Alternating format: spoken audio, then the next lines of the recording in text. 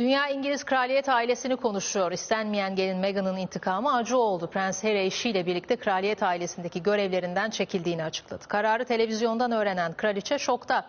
İngiliz basını skandalı diline doladı. Brexit başlığını asi Meghan'a uyarlayıp Megxit başlığı attı.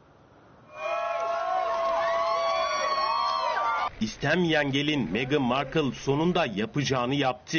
Harry'i ailesinden kopardı. Prens tüm kraliyet haklarından vazgeçti. Kraliçe 2. Elizabeth dünyayı şaşkına çeviren kararı televizyondan öğrendi. Beni sırtımdan bıçakladılar dedi.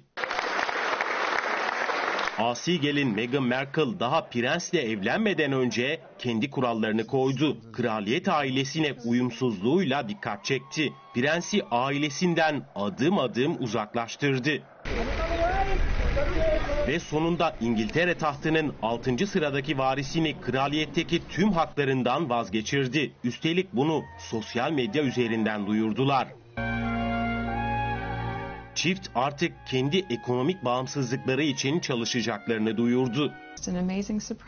Haberi televizyondan öğrenen kraliçenin yüreğine iniyordu. Harry'nin babası Prens Charles ve abisi Prens William da karara öfkeli. İngiltere'de yer yerinden oynuyor. İngiliz basını prensle gelin Meghan'ın kraliyetten çıkışını Brexit'e benzetti. Megxit başlığını attılar.